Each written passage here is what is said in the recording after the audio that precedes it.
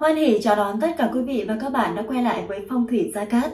Thay mặt cho những người thực hiện chương trình này, kính chúc tất cả quý vị gặp nhiều may mắn, vạn sự hanh thông, phát tài, phát lộc. Quý vị thân mến, như vậy là năm cũ 2021 Tân Sửu đã qua và năm mới 2022 nhâm dần đã đến được mấy tháng rồi đúng không ạ? Và trong tháng 4 âm lịch này thì ai cũng mong muốn mình gặp được nhiều điều may mắn, đặc biệt là khi bước sang năm nhâm dần 2022 thì mọi người đều cố gắng và nỗ lực không ngừng để có thể tìm kiếm những điều tốt đẹp để xây dựng mọi thứ trở nên viên mãn. Tháng 4 năm 2022 thì những gia chủ tuổi Đinh Sửu sinh năm 1997 có vận may lội ngược dòng, được quý nhân tương trợ và thần tài chiếu cố nồng hậu. Cụ thể, khi bước vào tháng 4 âm lịch thì con giáp này sẽ gặp được nhiều may mắn, công việc và cùng với đó là mọi kế hoạch đều được thuận lợi suôn sẻ.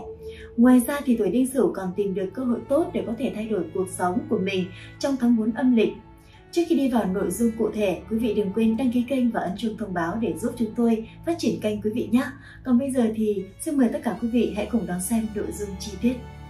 Sau đây là phần tổng quan của các quý vị gia chủ tuổi Đinh Sửu sinh năm 1997 trong tháng 4 âm lịch năm 2022. Những người tuổi Đinh Sửu sinh năm 1997 mệnh giản hạ thủy có đặc trưng là rất nỗ lực làm việc, cũng chẳng nề hà gian khó mà luôn hướng tới mục tiêu đã định. Họ đặc biệt không thích ồn ào, không thích gây chuyện thị phi.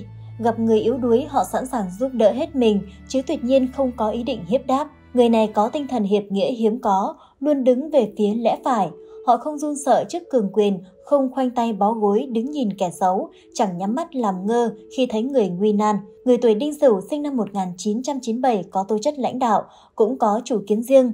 Họ không dễ gì khâm phục người khác, nhưng nếu gặp người khiến họ tâm phục, khẩu phục thì chẳng ngại ngần mà tán thưởng. Sự nghiệp cơ bản đã ổn định trong tháng này.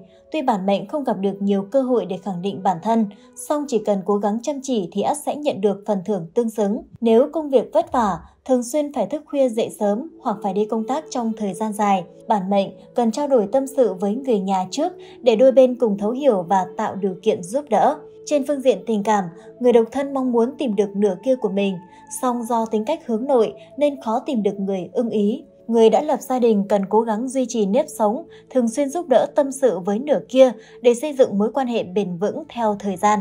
Xét về thiên can, đinh âm hỏa gặp giáp dương mộc nên gọi là thực thần, nghĩa là thân bị sinh, xuất tiết bất khí. Nên trong tháng này, các quý vị gia chủ đinh sửu cần phải hết sức chú ý và cẩn trọng trong mọi công việc. Một chút sơ suất có thể khiến cho mọi sự cố gắng của bản mệnh đổ sông đổ biển. Anh chị cũng cần chú ý có tiểu nhân ganh ghét quấy phá công việc cũng như gia đình của mình. Thứ nhất, về sự nghiệp quan vận, khối lượng công việc tăng lên nhưng bạn gần như luôn phải tự mình làm tất cả mọi việc.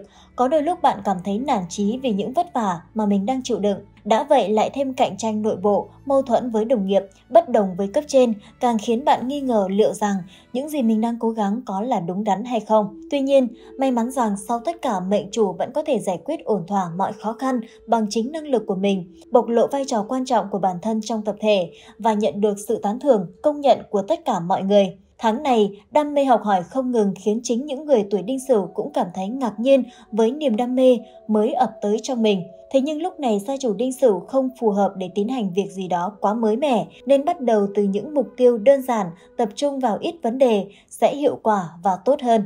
Năm nhâm dần 2022, Thái Tuế là hạng ngạc đại tướng quân. Dưới chân của đại tướng quân có một con hổ, để cho vận trình sức khỏe và gia đạo được hanh thông thuận lợi. Thầy Gia Cát khuyên gia chủ hãy luôn mang theo bên mình một kim bài thái tuế để nghênh đón thái tuế mang lại may mắn bình an. Đặc biệt, kim bài thái tuế của phong thủy lộc tài được thầy Gia Cát trực tiếp khai quang chỉ chú và xem ngày sử dụng cho quý vị gia chủ tuổi đinh sửu để mang lại tác dụng phong thủy tốt nhất hiện nay.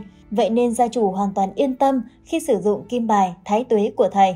Thứ hai, về mặt tài lộc và tiền bạc, tài vận trong năm thăng trầm bất ổn, kinh doanh, buôn bán có lộc tùy từng thời điểm được mất đan xen. Được nhiều nhưng mất cũng không hề nhỏ. Bên cạnh đó còn phát sinh nhiều chi phí ngoài ý muốn do anh em bạn bè hoặc bị lôi kéo đầu tư thiếu hiệu quả. Tốt nhất nên tránh các dự án đầu tư bất động sản trong năm nay, đừng vì tham cái lợi trước mắt mà đặt cược những gì mình đang có.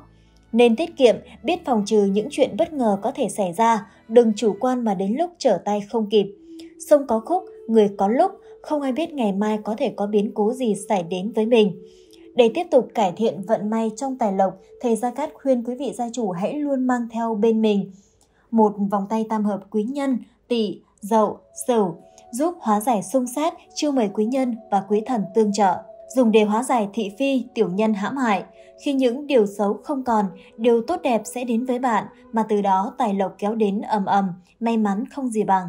Đặc biệt, vòng tam hợp quý nhân cũng được thầy Gia Cát trực tiếp khai quang trì chú và xem ngày giờ sử dụng cho quý gia chủ để có thể mang lại công năng phong thủy tốt nhất. Thứ ba, về mặt sức khỏe. Tử vi tháng này cho rằng có thể có một số việc ngoài ý muốn có thể xảy ra nếu những người tuổi đinh sửu không cẩn thận.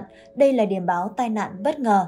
Khi bạn làm việc không nên làm việc quá sức khiến khả năng tập trung bị giảm sút, dễ bị sai giấy tờ. Hơn nữa khi xuất hành đi xa cũng cần phải cẩn trọng. Nếu có thể thì nên để người khác cầm tay lái. Để tinh thần ổn hơn thì bản mệnh nên dành nhiều thời gian hơn cho việc nghỉ ngơi. Không những thế, bạn cũng nên nghiêm túc xem lại và điều chỉnh chế độ ăn uống tập luyện. Các quý vị gia chủ tuổi đinh sửu hãy luôn mang theo bên mình một pháp khí phong thủy bát bảo tâm kinh. Đây chính là vật phẩm phong thủy có tác dụng kỵ tà hóa sát, đem lại may mắn, bình an và sức khỏe cho quý vị gia chủ. Để vật phẩm có thể phát huy được tác dụng tốt nhất, thầy Gia Cát sẽ khai quang trì chú và xem ngày giờ sử dụng vật phẩm theo tuổi của các quý vị gia chủ tuổi đinh sửu. Thứ tư, về mặt tình cảm gia đạo. Tháng này, các mối quan hệ xã giao của bản mệnh phát triển tốt đẹp. Nếu tích cực tham gia vào các buổi giao lưu, tụ tập bạn bè, bạn hoàn toàn có thể sớm tìm được người phù hợp với mình. Năm mệnh không nên rụt rè trong việc chủ động làm quen với bạn khác phái. Nếu có thiện cảm với ai, bạn hãy tiến đến gần để tiếp xúc và hiểu hơn về đối phương. Đừng chờ đợi người ta chủ động liên lạc với mình. Mối quan hệ giữa bạn với người lớn trong nhà nói chung hòa hợp. Bạn cần lắng nghe lời khuyên của những người đi trước nhiều hơn, nhất là trong những vấn đề mình còn chưa hiểu rõ. Người đã lập gia đình về cơ bản vẫn giữ được bầu không khí hòa hợp trong nhà. Đôi bên vẫn đang ở trong quá trình dung hòa và thích ứng với một trang mới trong cuộc sống. Tổng quan tháng 4 âm lịch năm 2022, tháng Ất Tỵ, năm Nhâm Dần.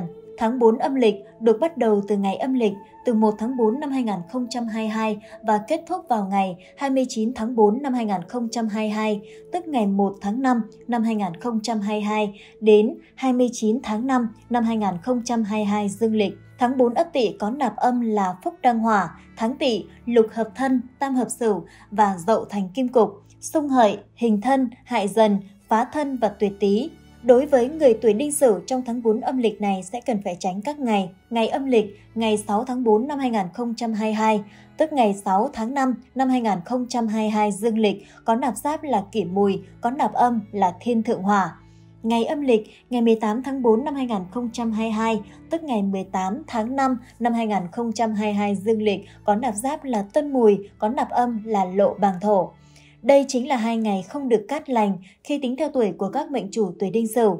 Trong những ngày này, mệnh chủ cần phải hết sức chú ý và tốt nhất là không nên thực hiện những công việc quan trọng. Lời khuyên từ các chuyên gia phong thủy cho bản mệnh là nên chú ý tới sức khỏe nhiều hơn, chi tiêu tiền của vào những việc cần thiết, không nên vùng tay quá chán. Các ngày tốt đối với người tuổi đinh sửu trong tháng 4 âm lịch năm nhâm dần 2022. Ngày âm lịch ngày 11 tháng 4 năm 2022, tức ngày 11 tháng 5 năm 2022 dương lịch, có nạp giáp là giáp tý, có nạp âm là hải trung kim. Ngày âm lịch ngày 23 tháng 4 năm 2022, tức ngày 23 tháng 5 năm 2022 dương lịch, có nạp giáp là bính tý, có nạp âm là giản hạ thủy. Đây chính là hai ngày cắt lành trong tháng để các gia chủ tiến hành các công việc liên quan đến xuất hành hay tiến hành những công việc quan trọng sẽ dễ có kết quả cao, hoặc những vấn đề nhỏ trong gia đình bạn tiến hành đều hết sức thuận lợi. Ngoài ra việc lựa chọn ngày tốt cần phù hợp với tuổi của gia chủ trong những công việc như tiến hành động thổ, ngày giờ mua xe mới, ngày giờ cưới hỏi.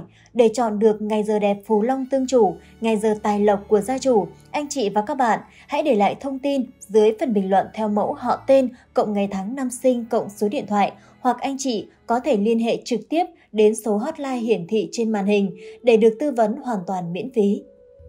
Thưa quý vị, vậy là chúng ta đã cùng nhau phân tích xong về phần luận giải lá số tử vi cho những người tuổi 1997 trong tháng 4 âm lịch và chắc hẳn quý vị cũng biết được mình cần phải làm gì cho tương lai đúng không ạ? Thông qua chương trình này thì chúng tôi cũng luôn mong muốn rằng quý vị hãy áp dụng những kiến thức mà phong thủy gia cát chia sẻ vào trong cuộc sống hàng ngày của mình để có thể thay đổi vận mệnh của mình trở nên ngày một tốt hơn, thành công hơn.